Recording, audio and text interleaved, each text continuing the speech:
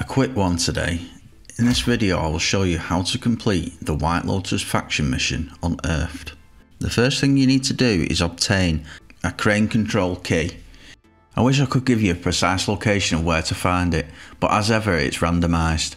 However, the best chance you have is to get one by looting strongholds, particularly orange chests and safes. You'll more than likely obtain a key from one, so let's hope it's this one.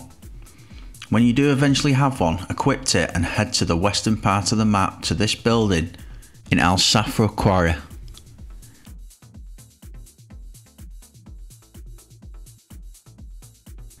There you can unlock the door and find the documents.